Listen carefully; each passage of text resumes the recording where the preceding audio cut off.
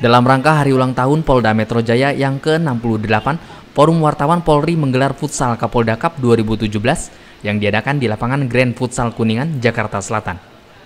Sebelumnya turnamen futsal Kapolda Cup pertama kali dipelopori oleh Kapolda Metro Jaya yang saat dijabat oleh Irjen Pol Sutarman.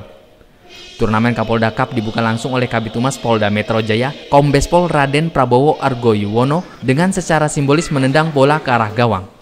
Dalam sambutannya, Kombes Pol Raden Prabowo Argo Yuwono menyatakan bahwa turnamen ini menjadi rangkaian agar polisi dengan wartawan terjalin baik yang mengedepankan fair play dan menggelorakan olahraga futsal sekaligus menjalin persahabatan.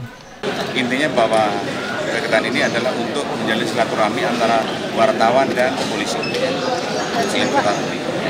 Kemudian juga selain itu adalah untuk uh, mengajak kepada hati kita sendiri ya hati sendiri kadang-kadang dalam sepak dalam permainan ini kan mesti ada emosi ada apa kita bisa eh, menang untuk mengalahkan untuk mengalahkan egois kita mengalahkan eh, apa namanya kemarahan kita semuanya ada di sini semua.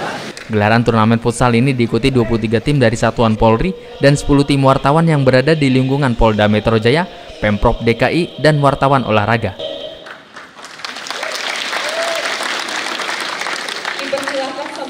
Dari Jakarta, tim liputan Tribata TV, salam Tribata. Oh ya.